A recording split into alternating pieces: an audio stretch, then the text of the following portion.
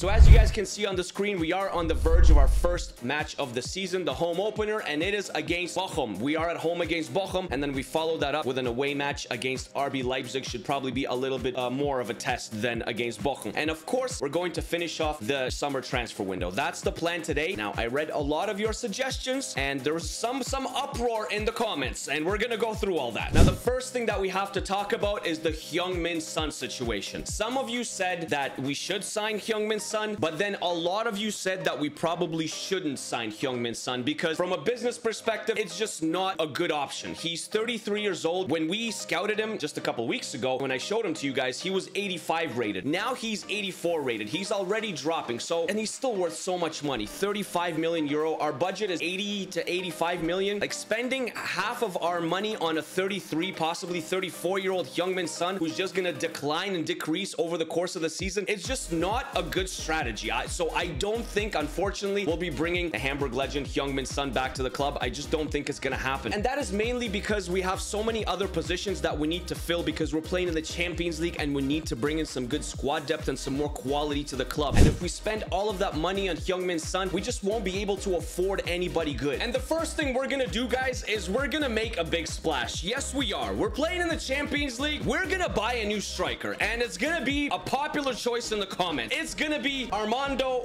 Broja. He's coming in and he's going to be competing with Bobby G, Bobby Glatzel for that striker spot. We paid a lot of money for him, guys, honestly. I tried to get him as cheap as possible, but because he's only 23 years old, wearing number 11, we had to pay 31 and a half million for Armando Broja. 31 and a half million euro, but it had to be done, honestly. Bobby Glatzel is getting old. At first, they asked about 37, 38 million. I kind of countered it down to a little bit lower than that, but he's 80 overall, and I think he's going to be a great fit at this club moving forward, man. Armando Broja, welcome to Hamburg. And you know what? We're gonna make another big splash. We're gonna bring someone back to Hamburg. We couldn't bring back Heung-min Son, but we're gonna bring in Hakan Çalhanoğlu. We need a central defensive midfielder. We're playing in the Champions League. You guys told me in the comments, don't be cheap and spend some money. I mean, that's what we're doing. We're spending money. Hakan Çalhanoğlu is back at Hamburg from PSG on a four-year deal. He's gonna be wearing number seven, and PSG didn't want to let him go cheap, but we still had to pay quite a bit of cash. I paid 35 million, 35 and a half million euro for Hakan Çalhanoğlu. Welcome back, my friend. 85 rated, our best player, our highest rated player. He's here for four years, like I said, on a four-year deal. I am excited for this. 86 rated. I mean, is this not a W signing? He is going to be absolutely incredible. Hakan, man, welcome back to Hamburg. And I think after making those two signings and splashing the money, it's time to test them out. And what better way to do it than in our season debut at home against Bochum at the Volkspark Stadion. And both Armando Broja and Hakan Çalhanoğlu will be starting. A lot of players are a little bit unfit, unfortunately. Radaric is unfit. You can see Jonathan Tah is unfit. I got to play around with their uh, match fitness and, uh, and uh, sharpness and all that. But they will be ready for next match. A couple of them are on the bench. I think that partnership of Rice and Çalhanoğlu will tear things up. So let's go and try and get our first three points in the Bundesliga. It's time for a new season. New dreams, new expectations. Armando Broja is here. Hakan Çalhanoğlu is here. It's time for Hamburg to shine. Here we go. Live from the Volkspark Stadion. It is Hamburg versus Bochum. Bochum probably a side that's uh, trying to avoid relegation and stay up. We are a side that have expectations now. We are not a little team anymore. We've grown in our three seasons. Radaric. And we see Broja making the run, and he's in already. Oh, baby. Come on. Ah! First kick, first touch, first goal for Mr. Armando. Woo! What a debut. Oh, baby, baby, baby. I'm excited. We're to have Armando and Bobby going forward. This is what teams I've got to deal with. That right there. It's 1-0. Osterhage. Oh, no. We gave him some space. Passlack. Don't give away penalty now. Çalhanoğlu, brilliant. Brilliant. Absolutely brilliant. Oh, Solbakken, not brilliant. Not brilliant at all. No! Oh, and our celebrations are short-lived here, guys. Okay, that's okay. That's okay. Early jitters, early season jitters. We give up a goal. Looney, uh, Looney. Lunin probably should have saved that. It went right underneath his arm. Well, Broja scores, but uh, Bochum come right back. Loosely will go long. Çalhanoğlu's there. Broja will collect. And Broja gets around the defenders. And we see Rooney making the run. He's in some space. Rooney Bargi. That could be a very, very exciting partnership between Rooney and, and Broja. And maybe even a shot. And it's not Haji? It's the spaceman. I mean, Armando Broja. One goal, one assist in the first half. I have a feeling Rooney and Armando are going to make quite the partnership. Plus, don't forget about Nicolas Pepe as well. We got some quality players at the club. It's 2-1, and we get it right back before halftime. The only thing about Calhanoglu is a little bit slow, but that's okay. That's all right. 47 minutes in, halftime, 2-1 Hamburg. Haji and Broja will kick off the second half to Calhanoglu to Joshua Noman. The one thing is that these two players are very excited to be here, guys. They're very excited to be here. Their actual weekly wages, they took a pay cut to come to Hamburg because they see the project. They see what we're trying to do here. As me, the manager, and you guys, the board member, they see that there's lots of potential. There's lots of room for success. There's a, a big upside of playing for this club.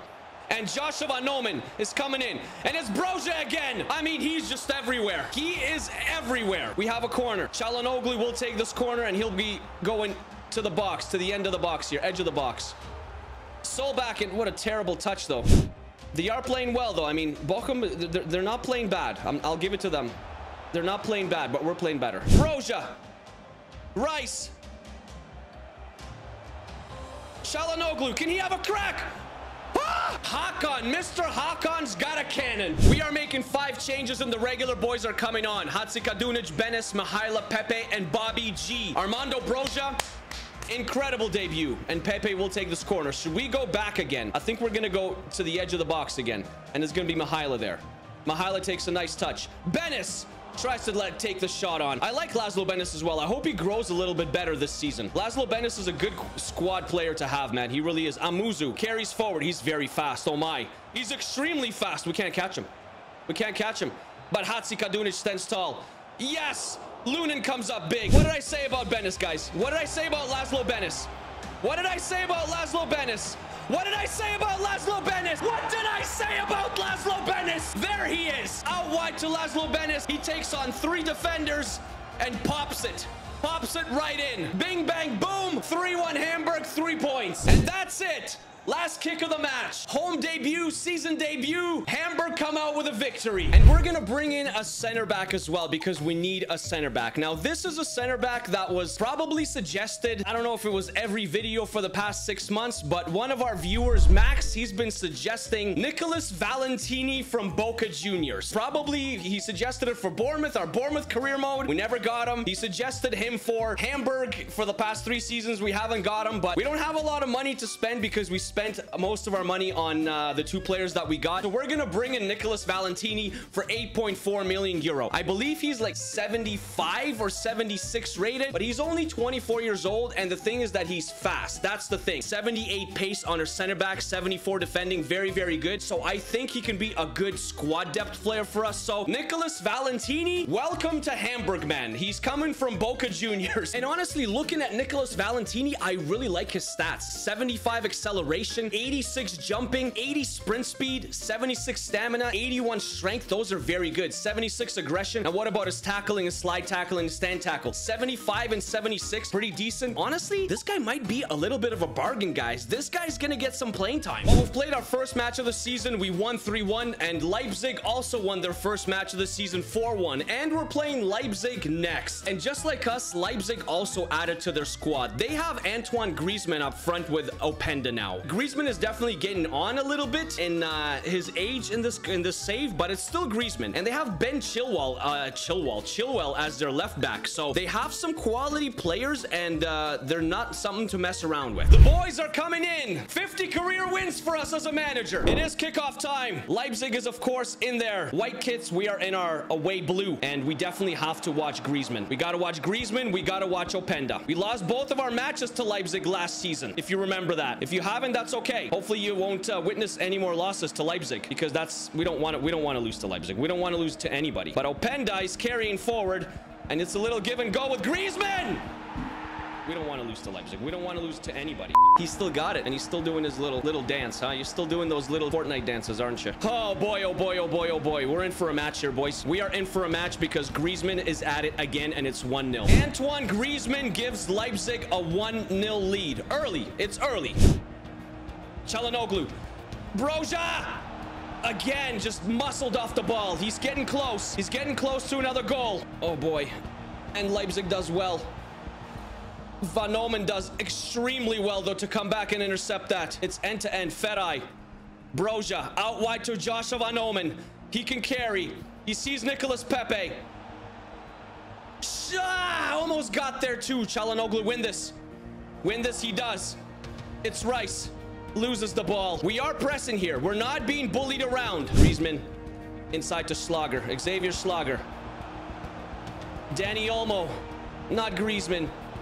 Not Griezmann again. Not Griezmann again. We can't get there in time. Griezmann is definitely getting on a little bit. Antoine Griezmann does it to us again, and he's doing his Fortnite dances. Two opportunities for Leipzig, two goals. Two shots for Griezmann, two goals. It's 2-0. Well, it's still the first half, and it's not like we've had a bad half. Like, we just we just kind of collapsed defensively. We could still try and get one back here in this in the first half before the half is over, hopefully. We're gonna try. We're gonna try and get one back. Solbakken. Back to Calhanoglu to Broja. Broja! Yes! What did I say? What did I say? It's Armando. It's Armando, baby! Welcome to Hamburg, my friends. It's Calhanoglu to Armando, and it's 2 2 2 1. Right before halftime, like I said, right before halftime, we needed to get one back, and we have. Second half underway. Can we find another goal? Can we prevent Griezmann from scoring another here in the second half? Don't let him cross. It is Baumgartner. Toss steps in. I tried to feed. We tried to feed Broja on a counter. But we just give the ball back to them. We started off well in this half, but we're we just can't get the ball. We're gonna make some subs here. Leipzig is making subs. Dani Olmo's coming off. Memphis Depay is coming on. So it's gonna be Griezmann and Depay playing together for the past for the last 25 minutes or so. We are also making five changes. Haji Bucha, Mihaila Bargi, and Glatzel all coming on. Bobby is on. Nicolas Pepe is off. Armando Broja is also off. Bobby's gonna try and use his experience and get us a goal here. Hold them, hold them, hold them, hold them. We don't want to give away a penalty. They, they, they're passing the ball so well, guys. So well. Oh my, I, like, I, I can't do anything. I literally can't do anything. Their passes are just tick-tack, tick-tack, tick-tack, tick-tack, tick-tack-toe. 3-1. For some reason, we just can't beat Leipzig, guys. We just, we just, they have our number. They're 3 for 3 now against us. I don't know how we're going to be playing in the Champions League. We're going to be playing teams that are of the same quality in the Champions League as Leipzig. And we cannot be playing like this. We have to be playing better defense. We'll see Haji making the run. Haji we see Bobby. We tried to feed to Bobby. It just doesn't, it's not there. Passing is not there. It's 91 minutes and that's final. We lose our first match of the season. We lose 3-1 to leipzig unfortunately. You guys wanted me to loan out robin sanders and that's exactly what we're doing. He's leaving us to play at freiburg for 12 months. Hopefully he can get some more game time at freiburg than he can, at hamburg. I think he'll come back a better player. So mr sanders come back a better player and we wish you all the best at freiburg. Well the transfer window is closed guys and it's time for the moment we've all been waiting for. The champions league groups are out. Let's go group by group and i'm gonna show you who we got in our group group. It's a very, very interesting group. So Group A, it is Barcelona, Bayer Leverkusen, Benfica, and Celtic. That is a very interesting group by Barcelona and Bayer Leverkusen. Maybe Benfica can break their curse and get out. I, I, I don't know. Group B, Liverpool, Real Madrid, Marseille, and PAOK from Greece. I think PAOK got a bad draw. It's a little bit of a bad luck. Liverpool and Madrid definitely the favorites. Group C, Man City, Nice, Slavia Praha, and Young Boys. Man City, of course, getting those easy groups. Man City buying the, Euro the UEFA Champions League. Group Group D, Inter Milan, Leipzig, Braga, and Shakhtar Donetsk. If I remember correctly, I think we're in Group E. And our group is... Oh, it's not. we're not in Group E. We're in Group F. AC Milan, Atletico Madrid, RB Salzburg, and Viktoria Plzen. Also an interesting group, but I think AC Milan and Atletico Madrid are the favorites. Like I said, I think we're in Group F. So I'm just going to go to Group F, and uh, I'm going to show you what we got. Ugh. We got Arsenal and Juventus and Royal Antwerp. Ugh. I don't know how we're going to do against Arsenal and Juventus, guys. I, I really don't know. I don't know how we can get out of this. We're going to try. We're going to try to get out of this group, but we got Arsenal and Juve. Why can we just get like a Manchester City group? But we got the hardest group. And finally, Group H, PSG, Spurs, AZ Alkmaar, and Dynamo Kiev. And sorry, finally, Group H, because that was Group G. Bayern Munich, Atalanta, Sevilla, and Rangers. Also an interesting group, probably a battle for second there. Bayern Munich is definitely the favorites, but us, we are stuck with Arsenal and Juventus. And so in our next episode, we start the month of September. Home match against Borussia Mönchengladbach, away at Union Berlin. Our first Champions League match is at home against Royal Antwerp, so it's an easy one. That's probably a must win. Then we are also again at home against Augsburg, and then we're also again at home, a little homestand in the Deutsche Pokal against Braunschweig. In the Bundesliga, after two matches, we're currently in seventh, one win, one draw, four goals four, four goals against on three points, but it's early on, so the standings right now, they, they don't really matter. Even though Wolfsburg in 3-0, I'm sure they'll drop points. Even though Frankfurt is 2-0, they'll probably drop points as well. So I'm not too, too worried about the Bundesliga here because it's early days, but uh, I definitely think we have to start conceding less goals and playing better against the bigger sides. So thank you very much for watching, guys. I hope you enjoyed this episode, and I hope you approve of the transfers that we've made. A lot of them, well, most of them were your, all of, all of them were your suggestions. So we used the money as we used it, and now it's time to face uh, the season with what we got. As always, take care of yourselves, take care of each other, stay happy and stay healthy. Always keep smiling. Also, let me know down in the comments your predictions, how you think we'll do in our Champions League group against Arsenal and Juventus, okay? And I'll see you guys in the next video, all right? Peace, peace, peace, peace, peace.